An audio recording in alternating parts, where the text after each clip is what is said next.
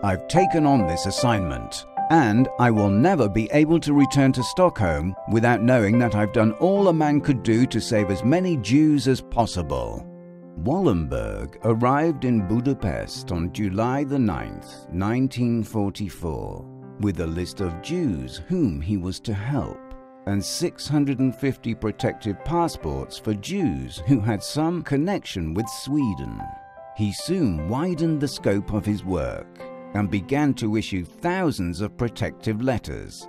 When the fascist Arrow Cross movement instilled a reign of terror in Budapest, Wallenberg and some of his colleagues abandoned all diplomatic routine and set out to save Jews from executions and death marches. They followed the columns of Jews who were marched to the Austrian border and freed them by claiming that they were under Swedish protection.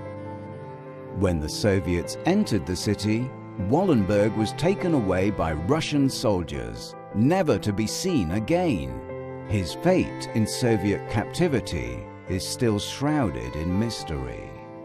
Despite having experienced ultimate evil, unimaginable loss, and terrible betrayal by their neighbors, they never forgot their benefactors.